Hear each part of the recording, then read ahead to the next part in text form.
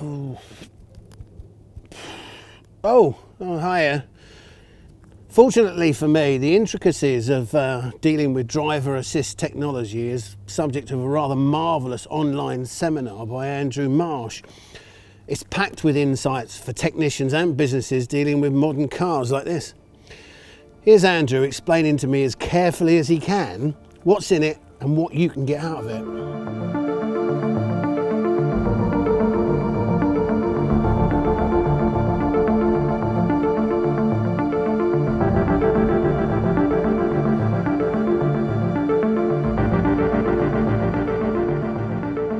So it initially started from almost nothing. Uh, it has grown really rapidly because manufacturers are anticipating it's going to be standard fit by 2022. And so we're seeing a massive increase in fitment rate. And so therefore it is a significant issue for anybody involved in the motor trade.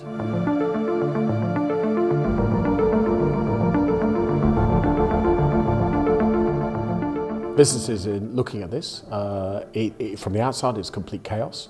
So it's very easy to get distracted and to invest in the wrong things. So strategy is all.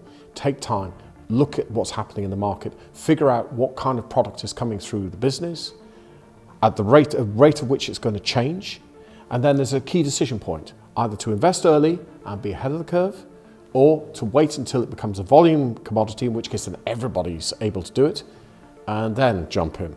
So it's a, it's a strategic decision to invest, but if the answer is not sorted out, the investment will be wrong. It's very easy to spend a lot of money and not get any work.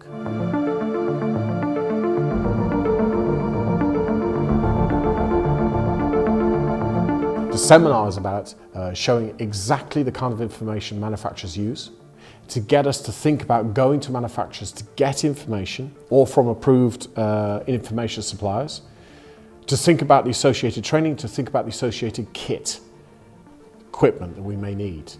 And where sensors could be equally important is to realize not all vehicles have all sensors fitted. So it's to, it's to get into the thinking of looking for what's fitted to each vehicle before we do anything that we may regret.